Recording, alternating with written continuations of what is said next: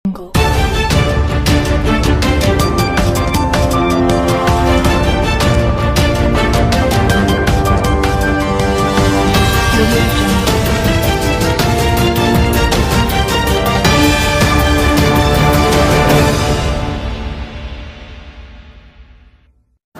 pagi pemirsa Happy Weekend. Morning Info kembali hadir menemani aktivitas Anda bersama saya Mufatin Fauzia. Dan saya Gianni Indra Septia selama beberapa menit depan akan menyajikan berita terbaru dan teraktual 2 Oktober 2022 Pemirsa di bagian cerah ini kami akan memberikan referensi untuk mengisi weekend Anda bersama keluarga dengan sesuatu yang menghibur. Serta sekalian kita belajar berbagai macam tarian dari Indonesia mulai dari tarian tradisional hingga tarian modern. Indonesia program studi seni drama tari dan musik Fakultas Bahasa dan Seni Iskarenis dan mengadakan festival seni tari yang bertempat di Gedung Fakultas Bahasa dan Seni Universitas Negeri Surabaya di Dawetan. Lebih lengkapnya langsung saja terhubung dengan rekan saya Rizky Adini yang sudah berada di tempat. Silakan Dini dengan laporannya bagaimana situasi saat ini di lokasi, di lokasi pertunjukan. Baik, terima kasih Muhammad dan Jendra dari studio. Halo, selamat info di weekend bersama saya Rizky ini. Saat ini saya sudah berada di lokasi pertunjukan. Nah, kali ini kita akan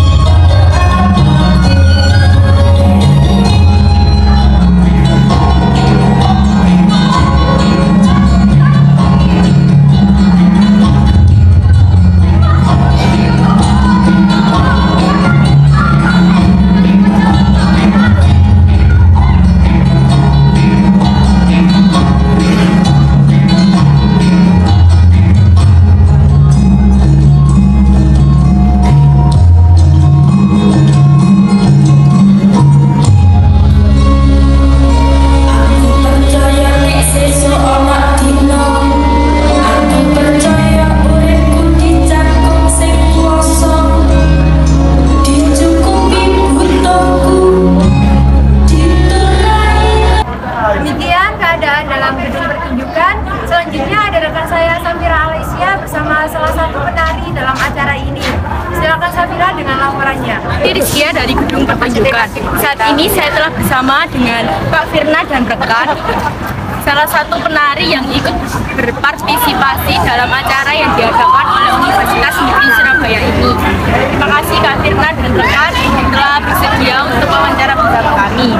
Kalau boleh tahu sejak kapan Rekan memilih profesi menjadi seorang penari?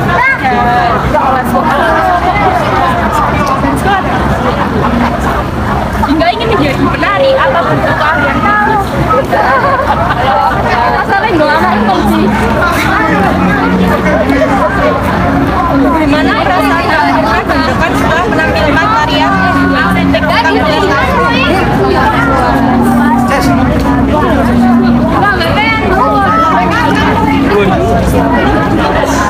komentar dari Muriono ini untuk karena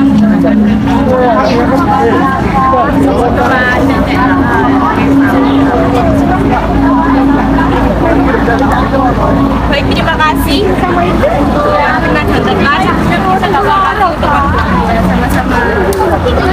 sekian wawancara hari ini kepada Bupati dan Gerindra kembali ke studio dan Safira dari Ragas Pertunjukan. Tak terasa Mori Info sudah menemani aktivitas Anda pada weekend kali ini. Sekian dari kami. Selamat pagi dan sampai jumpa. Heart